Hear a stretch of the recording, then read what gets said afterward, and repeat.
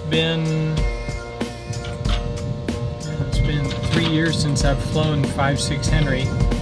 Uh, because of my quadriplegia, I don't uh, qualify to fly it now, but uh, Charlie, our next door neighbor and an instructor, is qualified, so he's going to take me out so I can fly it and uh, make sure that I can work all the controls. It'd be a big deal if I can fly it again.